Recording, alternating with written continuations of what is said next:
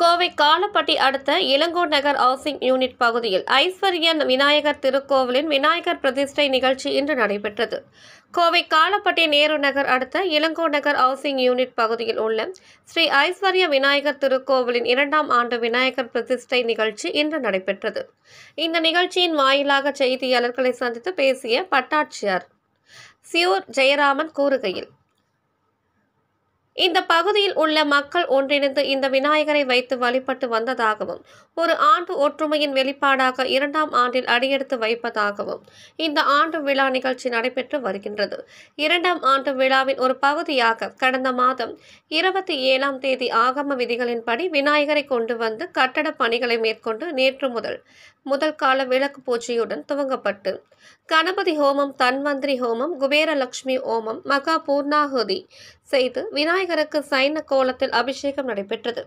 இந்த அபிஷேகமானது திருக்கோவில் கும்பாபிஷேக விழாவின் பொழுது மட்டுமே காணக்கூடிய நிகழ்ச்சி. அனைத்து திருக்கோவிலும் வழக்கமான பூஜைகள் கடவுள் அமர்ந்து இருந்த நிலையில் நடைபெறும். ஆனால் இந்த சைன அபிஷேகம் என்பது கடவுளை படுக்க வைத்து செய்யும் ஒரு விழா. இது திருக்கோவிலில் கடவுளை பிரதிஷ்டை செய்யும் நாளில் மட்டும் செய்யக்கூடிய ஒரு விழா. இந்த அபிஷேகம் நேற்று செய்து பிரதிஷ்டை செய்துள்ளதாகவும் இன்று காலையில் மகா கணபதி ஹோமம் மகா பூர்ணாகுதி அடைந்து நாடி சந்தான நிகழ்வு நடைபெற்றது. பின்னர் விநாயகருக்கு உயிர் வழங்கி கும்பாபிஷேக பிரதிஷ்டை நிகழ்ச்சி நடைபெற்றது. இதனைத் தொடர்ந்து சிறப்பு வழிபாடுகள் சிறப்பு பூஜைகள் நடைபெற்றன. இருபத்தி ஒரு தீபாராதனையுடன் சிறப்பு தீபாராதனை வழிபாடும் நடைபெற்றது என்று தெரிவித்தார். இந்த விழாவில் திருக்கோவில் நிர்வாகிகளான மணிகண்டன் முன்னாள் உதவி ஆய்வாளர் கிருஷ்ணமூர்த்தி ஆடிட்டர் சாமிநாதன் பிரேமசந்திரன் சுரேஷ் உதயகுமார் மேஸ்திரி கனகராஜ் செல்வராஜ் அழகரசன். செல்வராஜ் செந்தில்குமார் மருதாச்சலம் கிருஷ்ணன் சண்முகம் உள்ளிட்ட பலர் கலந்து கொண்டனர் என்பது குறிப்பிடத்தக்கது. அருள்மிகு ஸ்ரீ ஐஸ்வர்ய விநாயகர் கோவில் இளங்கோ நகர் ஹவுசிங் யூனிட் வடக்கு கோவை என்ற அருள்மிகு விநாயகர் கோவில் கோவிலின் இரண்டாம் ஆண்டு விழா சீரும் சிறப்புமாக நடைபெற்று வருகிறது.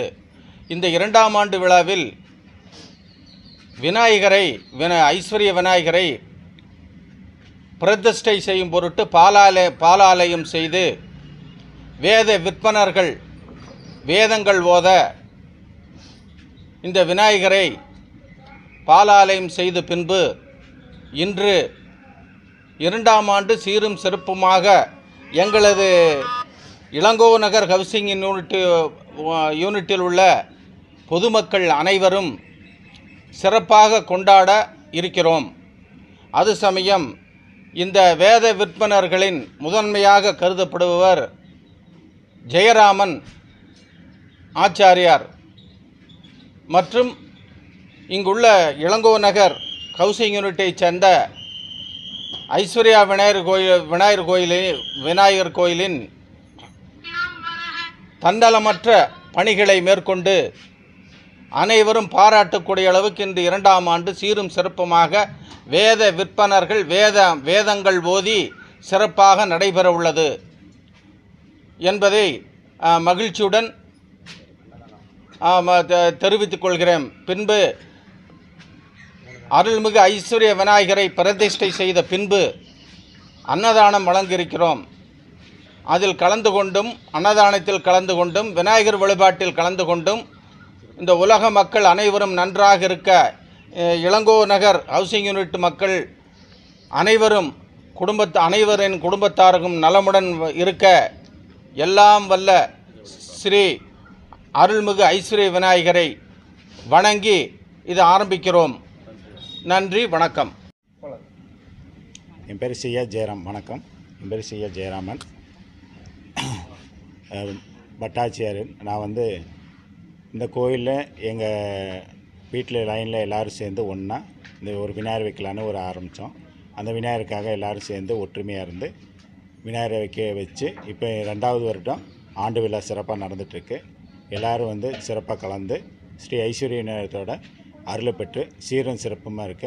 எல்லா வெள்ள இறைவனை வேண்டிக்கிறேன் எல்லோரும் ஒற்றுமையாக இருந்து எல்லா நலங்களும் கிடைக்கணும். நம்ம ஐஸ்வர்ய விநாயகரை வேண்டிக்கிறோம் இரண்டாம் ஆண்டு விழா போன மாதம் இருபத்தி ஏழாம் தேதி பாலாலயம் பண்ணி விநாயகரை எடுத்து பிரதம வேலை அதாவது கட்டட பணி செஞ்சு விநாயகரை இப்போ ரெடி பண்ணி இப்போ விநாயகருக்கு முதல் கால யாகம் நேற்று விளக்கு பூச்சியோட ஆரம்பித்து கணபதி ஹோமம் குபேரலட்சுமி ஹோமம் தன்வந்திரி சுதர்சன ஹோமம் மகா பூர்ணாகுதி செய்து நாடி சந்தானம் செய்து விநாயகருக்கு பிரதிஷ்டை பண்ணி சைன கோலத்தில் அபிஷேகம்.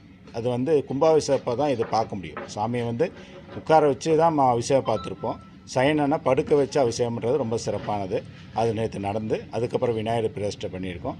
இப்போ காலம்பரம் ஆரம்பித்து மகா கணபதி ஹோமத்துலேருந்து ஆரம்பித்து மகா பூர்ணாதி முடிஞ்சு நாடி சந்தானம். அதாவது சாமியை வந்து கண்ணாடியில் வச்சுருக்கோம். எ- எழுந்தள்ளி கண்ணாடியில் வச்ச சாமியை மறுபடியும் சிலைக்கு உயிர் கொடுத்து நம்ம கும்பாபிஷேகம் ஆரம்பிக்கிறோம். ஆரம்பித்து அப்புறம் எல்லா ஹோமமெல்லாம் முடிஞ்சு மகா தீப அபிஷேகம் இருபத்தொரு வகையான அபிஷேகம் செஞ்சு மகா தீபாராதனை செய்து எல்லாத்தோட அருளோட ஐஸ்வர்ய விநாயகருக்கு எல்லா வல்லமும் கிடைச்சி உலக நன்மைக்காக எல்லாருக்கும் வேண்டிக்கிறோம். நன்றி வணக்கம்.